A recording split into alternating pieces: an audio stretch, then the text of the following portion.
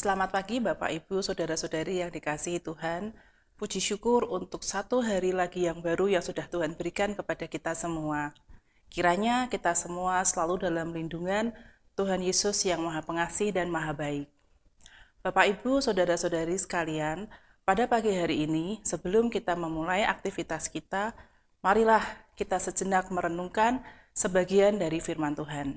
Namun sebelum itu, marilah kita sama-sama berdoa. Terima kasih Tuhan Yesus untuk berkat perlindungan-Mu kepada kami semua. Tuhan Yesus, jika pada pagi hari ini kami akan membaca dan merenungkan sebagian firman-Mu, berikanlah kami hikmat-Mu Tuhan, supaya kami bisa mengerti apa yang ingin Tuhan sampaikan kepada kami. Terima kasih Tuhan, di dalam nama Tuhan Yesus Kristus kami sudah berdoa dan mengucap syukur. Amin. Tema renungan kita pada pagi hari ini adalah penuh tantangan.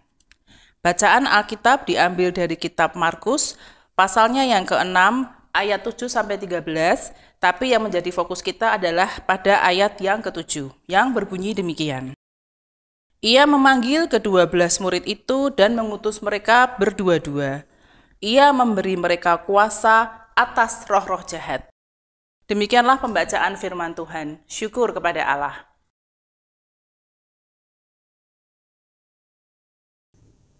Selamat pagi, saudara. Saudara, suatu hari ada seorang pemuda yang begitu bersemangat dan memiliki ambisi besar dalam hidupnya. Ia memiliki impian untuk menjadi seorang pengusaha sukses dan memberikan dampak positif bagi masyarakat. Ia belajar dengan giat, ia mengikuti pelatihan, ia mengumpulkan beragam pengetahuan tentang bisnis. Namun, ketika mulai melangkah maju, ia mengalami kesulitan dan juga kegagalan yang tidak ia duga. Bisnisnya tidak berjalan sebaik dengan harapannya, ia menghadapi masalah keuangan yang cukup serius juga. Nah, di tengah keadaan sulit ini, ia mulai merasa putus asa. Ia merasa lelah, ia merasa terpuruk oleh ketidakberhasilan yang dihadapinya. Akan tetapi, Kemudian ia bertemu dengan seorang teman lama yang punya visi dan semangat yang luar biasa, saudara. Seorang teman ini mengajaknya untuk kembali mengingat langkah yang sempat hampir terhenti. Dan pada akhirnya, pemuda ini menyadari bahwa kesuksesan tidak selalu datang dengan mudah. Dan kegagalan merupakan bagian yang tidak terpisahkan dari perjalanan untuk mencapai tujuan.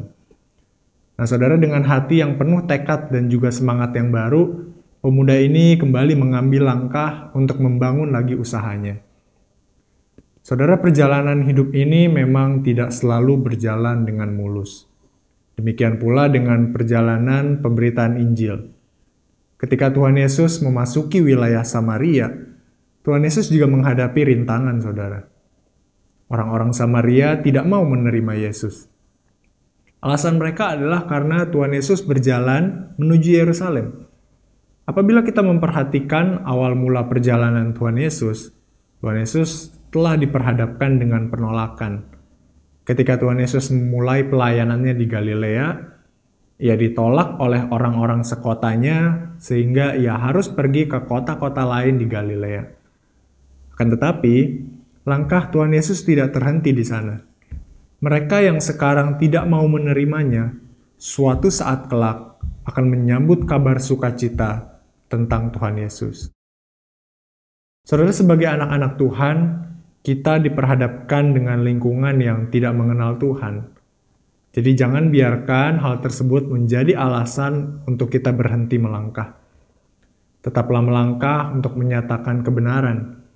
Perlahan tapi pasti, kabar baik itu akan tersebar ke seluruh penjuru dunia. Marilah kita terus maju dengan tekad dan semangat yang bulat untuk menyatakan dan membagikan kebenaran firman Tuhan. Kiranya Tuhan menolong kita. Mari kita berdoa. Ya Tuhan, kami berdoa menyerahkan untuk hidup setiap kami ke dalam tangan Tuhan. Kiranya di tengah zaman, di tengah dunia yang banyak kali tidak mengenal Tuhan dan tidak mau mengakui Tuhan, kami dipakai oleh Tuhan untuk menerangi mereka, untuk menggarami dunia ini, sehingga nama Tuhan dikenal dan nama Tuhan dipermuliakan. Tolonglah kami ya Tuhan. Dalam nama Tuhan Yesus kami berdoa. Amin.